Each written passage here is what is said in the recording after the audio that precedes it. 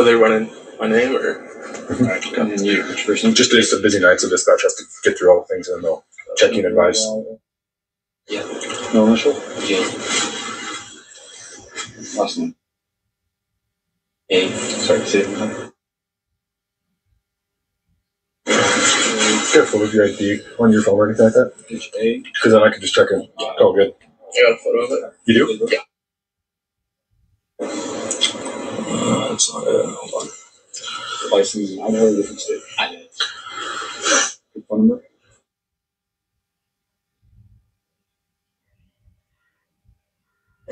Eight one one one? Yeah. And you can always do address for Uh, local address. me. Um, What is Saeed watching? He's doing this right in front of the police officer. He said he had his driving license, driver's license somewhere in his device, but pay attention to the pictures he's watching. This does not look like pictures from a driving license. I can see figures standing there. One looks like a female. He's watching the pictures that he received. At the same time, he's searching for his driving license. We can clearly see on the picture below somebody with a mask. The above picture I've shown you all the first time, I believe, a year ago, last summer. That looks like Kaylee sitting on a bed. And then luckily Kaylee's father and mother told us how Kaylee was found. They told ABC News she was found sitting on a bed. She was trapped between the wall and the bed. Is Saeed actually watching the crime scene pictures? The person with the mask looks, uh, looks like a female to me.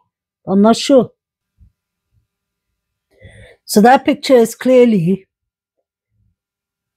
Saeed on the Banfield watching some pictures that look like Kaylee sitting on the bed. The other one you can see figures. One looks like a female. And the third one I showed y'all is someone with a white mask. There are more of those pictures that I've shown in my channel. But I just find it really strange that this was the first timeline that we are given that the unlivings and the quadruples happen between 3 to 4 a.m. Pay attention to everything happening between 254. The reason I say 254 is where that is when the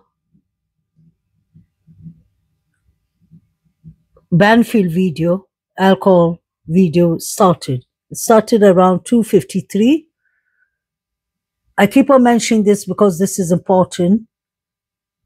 Let's not forget at 252 was the last phone call made from the girls, Maddie and Kaylee, may the rest in peace, to Jack D. He said he was sleeping, that's why he couldn't answer the phones.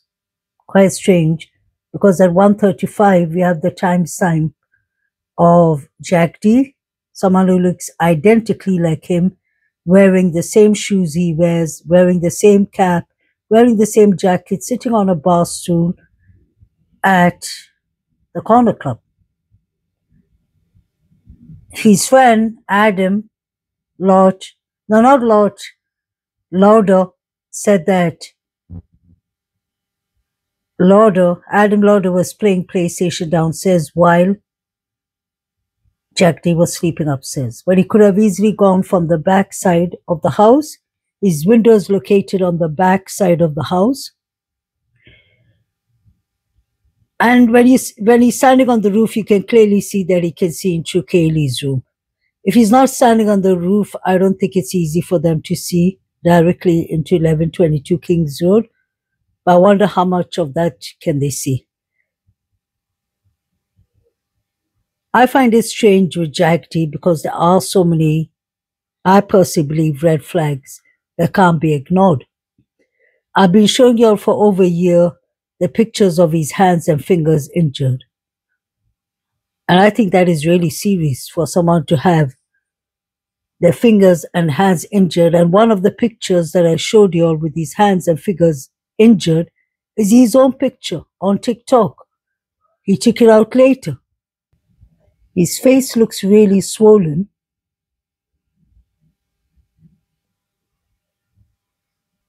This was a tweet tweet left to, I believe, the True Crime World from the Corner Club. This is what they think about us interfering in the case. If you ask the bartender for something and they say no, but then you go ahead and do that thing and they said no to, that is behavior that will get you removed from the establishment. It also makes you look like an a hole. Don't be an a hole. Hashtag rule number one. So that was the tweet that the Corner Club put up for the public to see. I'm sure people must have been harassing them in the beginning. I don't think necessarily harassing them, kind of asking them questions. So about Maddie and Kaylee, because they were last seen at the Corner Club before they walked to the grub truck. And we heard Mr. Showalter saying clearly, you know they're going to get you for that, Maddie. And that's when Kaylee says, Maddie, what did you tell Adam? Adam was at the corner club. Jack D was at the corner club. Jack Showalter was there. Maddie and Kaylee were there, may they rest in peace. Jovito was at the corner club because he mentioned how intoxicated Maddie was and she she bumped on him at the corner club. So all these people were actually watching the girls, not watching, but they have been seeing the girls in the corner club before they came to the grub truck. Question is, how much do they know? How much are they willing to tell? I'm sure many people know exactly what happened that night. Either they're involved, or either they know somebody who's involved, or this is something maybe to do with the frats, but nobody wants to talk, obviously.